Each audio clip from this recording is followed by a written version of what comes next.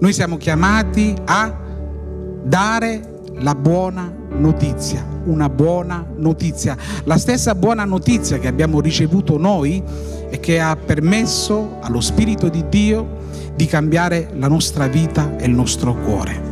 In completa semplicità, questa buona notizia è che Cristo ha reso possibile la salvezza Questo sentimento parte da una visione.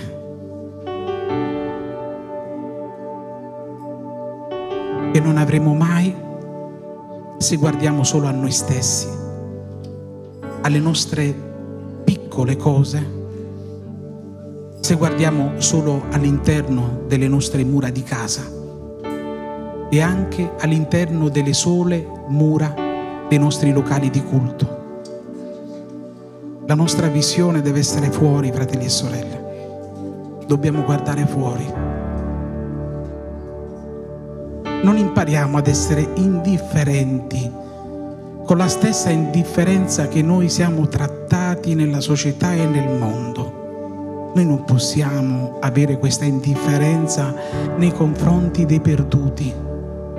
È una sacra realtà spirituale che Cristo ha messo nei nostri cuori se davvero siamo stati salvati. Andate, dirà Gesù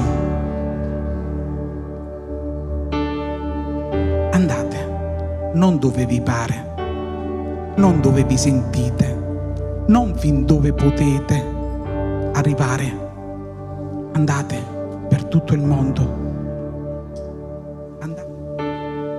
Vangelo, quando è predicato, è potenza di Dio e cambia le persone, gli individui, i cuori, cambia la vita e lo fa da subito